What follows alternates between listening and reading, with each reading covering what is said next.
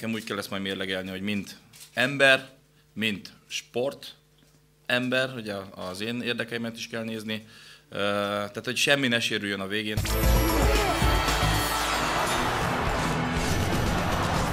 A mérkőzés után nagy volt az ünneplés, srácok egy kicsit meglepődtek, meg kiküldtem őket ugyanúgy futni, kocogni. Ugye akik játszottak, azok regenerációs mozgást végeztek, akik nem, azok meglettek egy kicsit pörgetve. Utána elengedtük a csapatot haza, mindenki töltődjön föl profi futbalisták, tegnap visszaért a társaság, közös munkát végeztünk az elején, mert hogy együtt vagyunk, úgyhogy ilyenkor nem olyan egyszerű ezt összehozni, és akkor azok a játékosok, akik nem játszottak, egy kicsit megpörgettük az edzésüket, kicsit gyorsabb, intenzívebb edzést végeztek. Ma együtt dolgozunk, tehát egy edzéssel kell fölkészüljünk az orosz csapat ellen, de én úgy gondolom, hogy védekezésben, meg csapatszellemben a csapat egybe van, az előző mérkőzésből lehet meríteni. Most délután a támadással fogunk foglalkozni, van egy pár dolog, amit szeretnénk meg kipróbálni a következő mérkőzésen. Fontos lesz az is, hogy ne vonjatok le nagy konzekvenciát a cserékből majd, ami most lesz, mert ugye eddig sikerült minden mérkőzés a szakmai stábnak hozzátenni a, a, a úgy gondolom, hogy a tudását, meg a tapasztalatát, mert úgy tudtunk cserélni szinte minden mérkőzésen, tudtunk segíteni a csapatnak. Most viszont eltervezett cserék lesznek, meg lesz mondva, hogy ki az, aki egy fél játszik, ki az, aki 60 percet, ki az, aki 30 percet. Szeretném mind a hat cserét e, meglépni, de már el, lehet, hogy lesz olyan valaki, adja jó Isten, hogy két gólt rúg, de már meg volt beszélve, és le lesz cserélve. Tehát e, ebből nem lehet nagy e, konzekvenciákat levonni. Kérem, hogy ezt mindenki akceptálja, ez azért van, hogy a közösség a szellem ezzel nem sérül, mindenki kapjon lehetőséget arra, hogy bizonyítson, úgyhogy így megyünk bele ebbe a mérkőzésbe.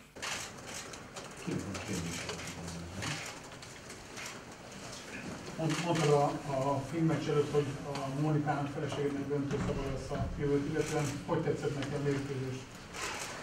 Hát jól érezte magát, sőt, ugye mivel hogy este utána még elmentünk vacsorázni a barátaimmal, meg elmentünk ugyanúgy, ami megjár egy kicsit szórakozni a szórakozó helyekre, és mivel hogy a barátnőmnek nézték, jó bőrbe van, úgyhogy, úgyhogy tetszett neki a budapesti éjszaka, másnap reggel repülőtér vissza a három gyerekhez, úgyhogy attól függetlenül egy kicsit pihenhetett velem, meg jól érezte magát, kőkeményen kell most otthon ugráljon a fiúknak.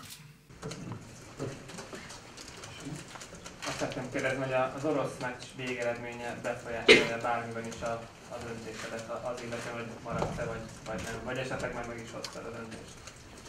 A végleges döntés még nincs teljesen meghozva, mert azt beszéltük meg, hogy az orosz meccs után fogunk erről beszélni, és nem is először a sajtóval fog róla beszélni, hanem uh, a elnök úrra, a családommal, Hertha BSC-vel. Uh, tehát ez egy, ez, egy, ez egy hatalmas nagy kör, és nekem, nekem úgy kell ezt majd mérlegelni, hogy mint ember, mint sport ember, ugye az én érdekeimet is kell nézni, tehát hogy semmi ne sérüljön a végén, hanem mindenki úgy jöjjön ki ebből a történetből, hogy jó döntés szülessen.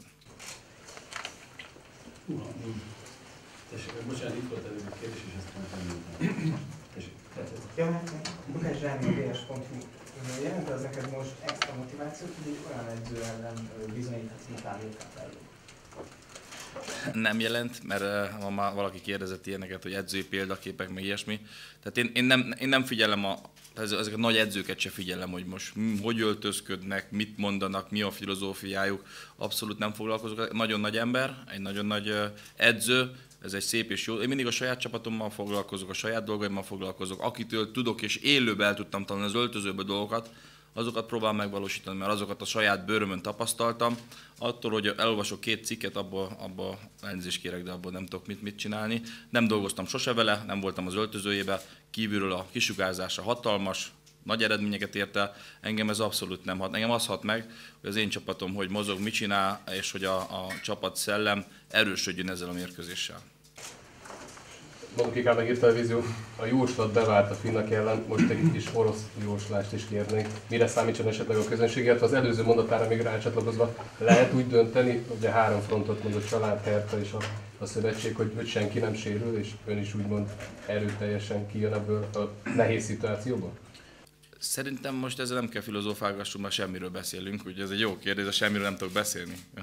Tehát kérem, hogy ezt akceptáljátok, amit mondtam, aztán ebből írhatsz te is egy filozófiai tanulmányt, hogy te ezt hogy gondolod. Erre most nem kívánnék válaszolni. Mi volt a másik? A... A jóslatot elmondtam, tehát most nem, nem, nem megyek jóslatokba, azért nem megyek jóslatokba, mert meg lesz mondva az első fél úgy lesz felírva a táblára is, hogy ki az, aki egy fél időt játszik, ki az, aki 60 percet, ki az, aki 30 percet, tehát ez most nem úgy néz ki, hogy akkor a Szalai Ádám kifárassza a két belső védőt, és rácserélem a Nikolicsot, meg jön a Lovrencsics, és az utolsó 20 percben megforgatjuk a mérkőzést, és, és belendülünk. Ez most, ha úgy jön ki, akkor nem így tudunk csinálni, tehát nem szakmai szempontok szerint, hanem hogy mindenki tudjon bizonyítani. Tehát eh, ahhoz, hogy ha én leszek a kapitány, ha nem, én úgy gondolom, ez egy olyan alap, meg a játékosok meg tudják magat mutatni, amit a következő kapitány is, vagy én akár, ö, ö, legyen érték ennek a mérkőzésnek. Tehát nem is a, igenis kell az eredmény, kell az eredmény, jól néz ki, de nekem az nézzen ki jól, hogy ki mit teljesít, kinek milyen a mentalitása, ki hogy áll hozzá a mérkőzéshez. Aztán, ha most ebből vereség van, akkor vereség van, de én nekem az a lényeg, hogy lássam azokat a dolgokat, amit, amit elvár az ember. Nem lenne rossz látni, hogy valaki a te megkezdett munkálat folytatja, és van olyan ember, aki szívesen látnál magad után? Ezek olyan szép kérdések, mi játsszuk le a meccset, jó? Nincs egy klasszikus értelemben szép meccsel árulható a kezdő csapat? Nem tudom, egy, egy földet fogunk játszani 4-2-3-1-be, egy földet 4-4-2-be, jó? Ezt próbálom úgy összerakni, hogy mindenki tudjon játszani, mindenki összepasszoljon a kollégájával. Ennyit tudok ígérni, ezzel két játékrendszert is mozgatunk, látjuk, hogy ha olyan mérkőzés jön majd legközelebb, bele kell nyúlni egy játékrendszerváltással, vagy akár személyekbe, megpróbálom úgy összetenni. Tehát lehet, hogy nem is fog ez jól kinézni, mert ugye eddig az volt a motto, hogy a hét elején szinte együtt gyakorolt az a tíz játékos, kilenc és fél, aki kezd, hogy egy kicsit együtt játszanak, most ez nem fog működni, de nekem én úgy gondolom, hogy ez most ez egy olyan lépés, amit, amire meg is, meg is kell lépni, meg is kell csinálni, és megérdemlik azok a srácok is a játék lehetőséget, akik eddig nem jutottak szóhoz, mert ugye csak háromszor lehet cserélni a tétmecseken. Megkérdezném tőled, itt olyan játékosok is szépen bizonyítottak, akik ha mit tudom én, velem jönnének szembe az utcán, nem biztos, hogy felismerném őket. Te ismerted ezeket a játékosokat, mielőtt elvállaltad ezt a feladatot? Mert nagyon jó beváltak. Engem, amikor megkértek, akkor legalább 8 napig más csináltam, mint egy elemző programon keresztül.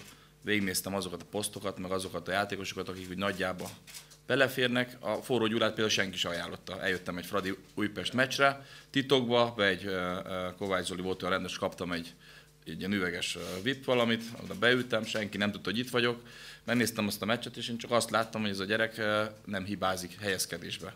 Ha a helyezkedésben nem hibázik, akkor úgy gondolom, hogy már egész jó úton járunk, mert, mert a védekezésben ez a legfontosabb, hogy már jó kezdve is működik ez, és, és teher nélkül nyugodtan játszon aztán akkor innentől már látjuk, hogy ugye folyamatosan kibe hogy lehet, vagy kire hogy lehet építeni.